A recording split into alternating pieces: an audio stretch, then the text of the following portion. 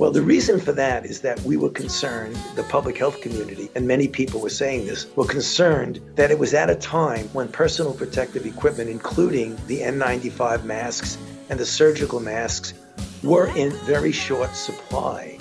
And we wanted to make sure that the people, namely the healthcare workers, who were brave enough to put themselves in a harm way, Will you today finally take some responsibility for funding gain of function research in Wuhan? Senator, with all due respect, I disagree with so many of the things that you've said.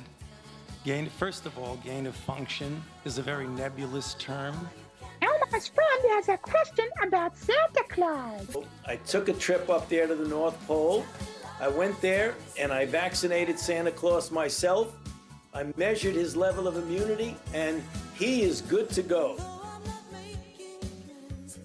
show that between Fauci and a researcher tied to the Wuhan lab, they reveal that Fauci may have given China a free pass early on. Fire Dr. Fauci with a little box that says, contribute here. You can do $5, $10, $20, $100. So you are making a catastrophic epidemic for your political gain. So the you only have thing politically that, the only attacked that your can- colleague and in a politically reprehensible The only way thing that I attacked their can think reputation. Okay, you won't we- defend it. No, you won't well- argue it. I'm You'll was off camera. The mask came off literally. Want to see hypocrisy in action? Look at this. The reasons our economy is ground to a halt, you're one of the reasons that people are as unhappy as they've ever been. Dr. Fauci once again under fire, accused of flip flopping. The White House's top health expert now saying this about outdoor COVID transmission and mask guidelines. It's pretty common sense now that outdoor risk is really, really quite low.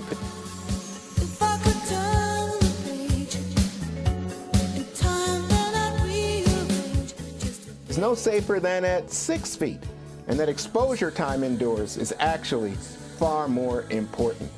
Uh, Jesse, the CDC Anthony Fauci, and nothing ever gets better. He's still cautioning vaccinated Americans against indoor dining.